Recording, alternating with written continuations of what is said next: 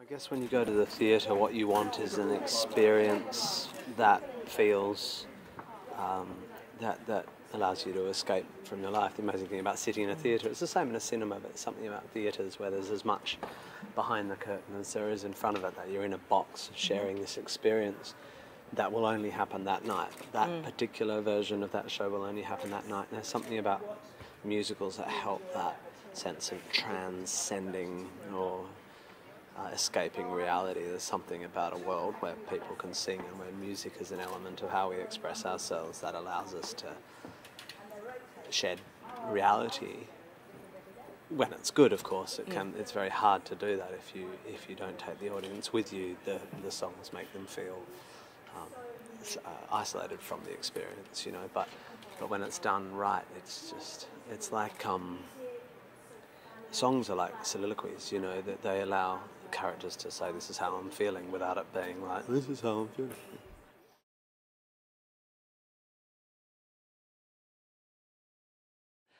There's no doubt Matilda probably in an almost unprecedented way allows kids to carry the narrative. I mean, the way Matthew and Dennis um, de- uh, designed the story so that kids could carry it without having too much kids acting on kids. Because kids, when they act with kids, um, struggle.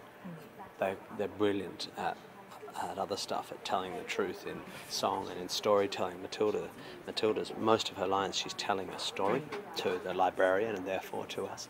Kids are amazing at that. You get them acting at each other, and it's difficult. So it's incredible how we manage to allow kids to drive the narrative without leaving them alone and unsupported on stage too long.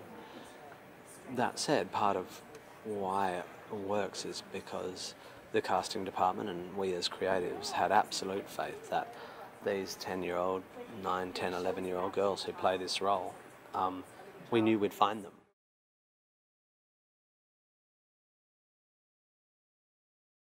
To be an artist, you need to be bringing a worldview to your craft.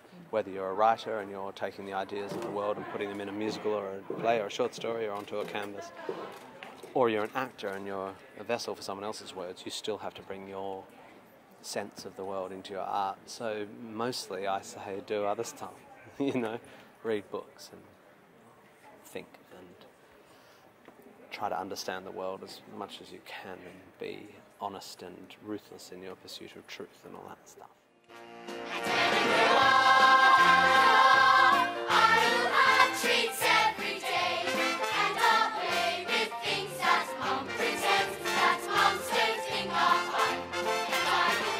I don't know if you ever feel quite like a grown up. Actually, once you have kids and they grow up a bit, you, you're sort of forced into feeling a bit like a grown up because you have to pretend to be one of your kids all the time.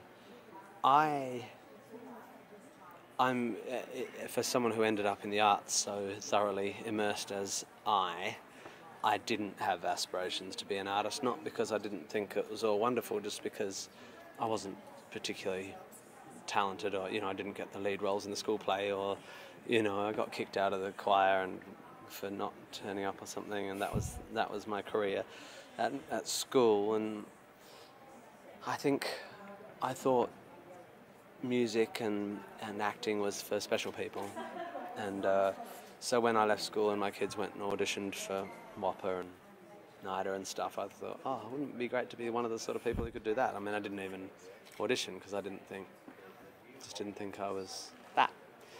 And, uh, and then I started writing scores for theatre and then doing a few plays and stuff. And I just very slowly realised I was allowed I sort of got permission by virtue of just doing it on a small level. But um, when I was a kid, I thought I'd be a, probably thought I'd be a teacher. I mean, I thought I'd be a farmer when I was like six, and but I thought I'd be an alright teacher, and I think um, I'm still very, very passionate about people who are teachers, and I feel that part of my role in the work I do is to be a teacher, without a doubt. And I don't think you have to be a teacher to teach.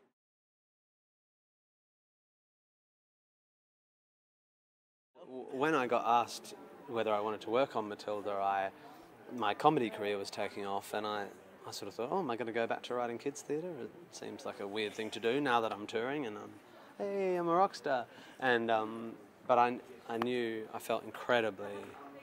I felt threatened by the Royal Shakespeare Company and by Matthew Warchus and Dennis Kelly, and this I felt like, oh, maybe they should get someone more experienced or whatever. But I didn't feel threatened by Dahl because I'm just I fed on Dahl. My cells are made of Dahl. You know, I thought there's probably better composers in the world, but I didn't think there was anyone. I didn't. I didn't feel like when it came to the Dahl, I'm like, no, I'm your guy.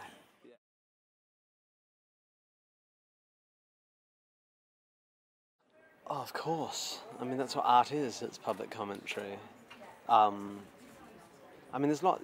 You know, art is entertainment, and I I don't think my primary role as an entertainer is to teach, but it's absurd to say it's one or the other. I mean, historically, of course, art and and politics, art and knowledge, art and um, rebellion and protest. Of course, you know, um, you know, and and the the Pell song was definitely quite judgmental, but it made a very very deliberate point about people who think they deserve respect because of their position, as opposed to their ethics. And this show says the same thing. Not that I'm comparing them, but it says Matilda stands up to a person who, by dint of her position in society, has not been held to account in her ethics. And um, I'm not the judge and jury. I just made a comedy song. I didn't choose for it to do what it did. It hit a mark that people felt very. I didn't get it released. I didn't make money off it. No one put ads on billboards. Not like Andrew Bolt, who's you know pushed by a corporation all the time.